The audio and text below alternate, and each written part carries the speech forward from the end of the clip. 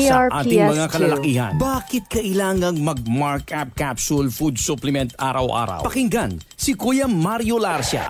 Ah, ako po si Mario Larcia ng Cuenca, Batangas. Ang magpapatunay sa inyo na ang markup capsule ay nakakatulong para ang ating ah, prostate ay maalagaan natin na huwag, huwag DRPS2. lumala o huwag ah, mamaga sapagkat ah, ito'y may mga sangkap na nakakatulong para mapaganda ang ating ah, tawag dito prostate. Huwag maging huwag ma, huwag mamaga at ah, maganda ang resulta sa ating pangangatawan. Maganda po at ah, nakakabuhay ng dugo.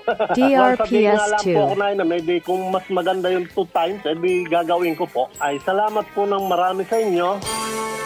Ang Markup Food Supplement ay mabibili na sa inyong mga suking butika at drugstores dito sa ating lugar.